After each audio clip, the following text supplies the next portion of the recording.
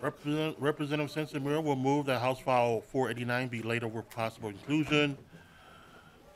Welcome to the committee, Representative Sencer-Mura. Thank you. And it is my first time presenting to the committee. I brought cupcakes. I don't know oh. how Oh. people feel about cupcakes. You know, you know what to 9:30 do. a.m. Some of them have lost their frosting. I feel figure it out. appreciative. I don't like frosting, so that'll help. Frosted for everybody. All right, Representative Sencer-Mura, you may proceed. Thank you. Thank you, Chair Zhang. Um, thank you, committee members. Uh, happy to be here today and really um, honored to be introducing House File 489 to the committee today. Um, this bill is about bringing people back into our community and making sure that they are successful when they come back. Better Futures provides job skills training for recently incarcerated people, people who were released from prison in the last 12 months for felony level offenses.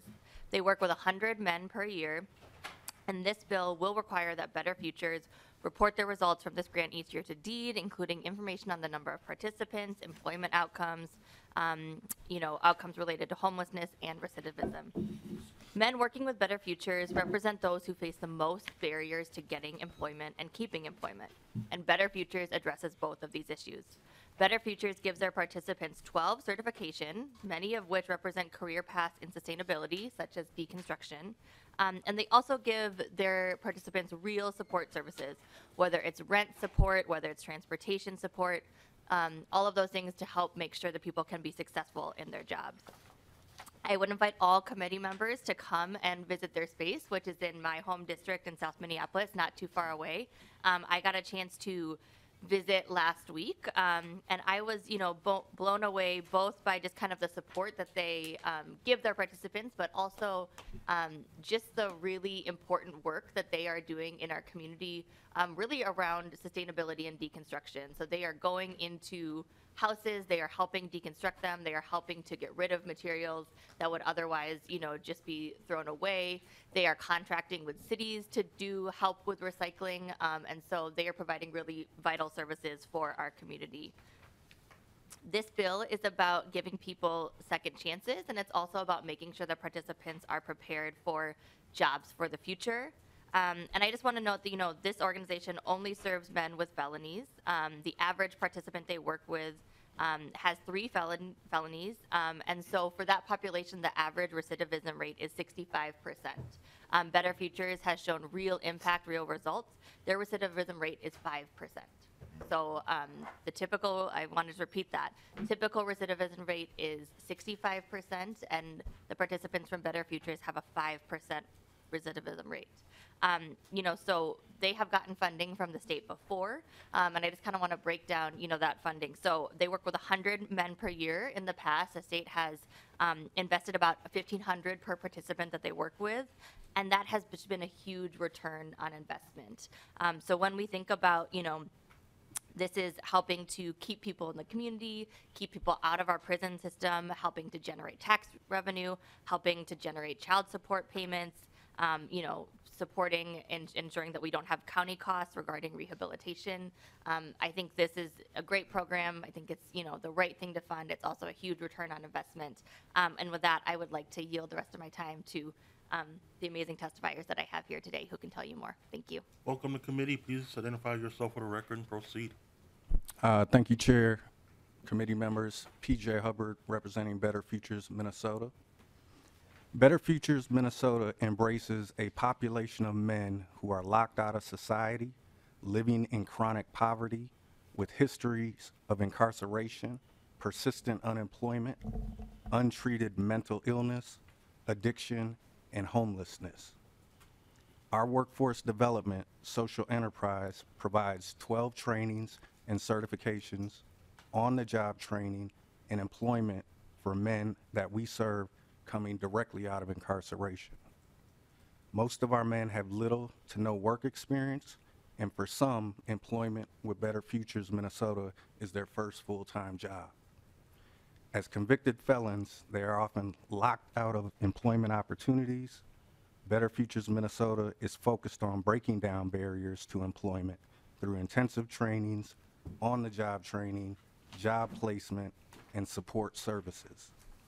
Our support services include, but are not limited to, housing support to reduce homelessness and increase stabilization, transportation support to reduce barriers to gainful employment, mental health support to address long-term trauma, chemical health support to address long-term addiction, birth certificate and state identification support, and on and on and on.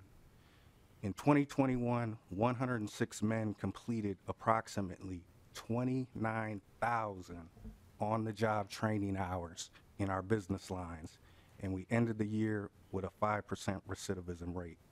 Chair, committee members, we welcome you out to Better Futures, and I appreciate the opportunity to speak with you today.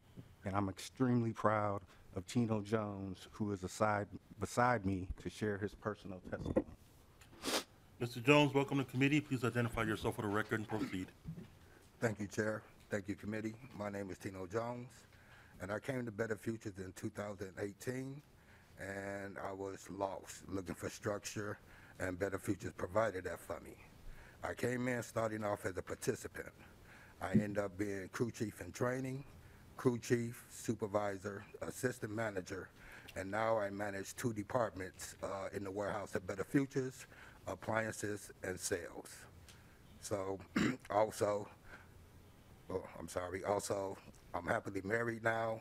I uh, even own a home. So I would like to say thank you to Better Futures, and without Better Futures, I don't believe I'll be sitting right here with you all. And since I've been here, I haven't had any contact with law enforcement. Thank you. Discussion. I just want to. So, can I add one thing? um, so, when I got to uh, visit Better Futures, um, I saw Tino give that same kind of testimony at the same time that he was also, I think, breaking down a refrigerator, um, which was very impressive. So, just know that he has that skill. Representative Frazier. Thank you, Mr. Chair. Thank you, Representative, for bringing this bill. You know, I, I often say that uh, accountability has its place uh, in our in our society and in our system. Um, but when we take people out of the community and then when we decide it's safe for them to be back in the community, we should provide pathways and runways for them to land safely and um, to be productive and provide them with the skills they need so that they can stay in the community in a productive way. And I think this program does just that. So thank you for bringing this bill, and I look forward to supporting it. Um, and I hope we can see more of it just like this. Thank you. Representative Baker. Uh, Mr. Chair, and thank you again. I, this is one of those, I want to head over to Minnehaha, Minnehaha Avenue and take a tour as well with a number of members here.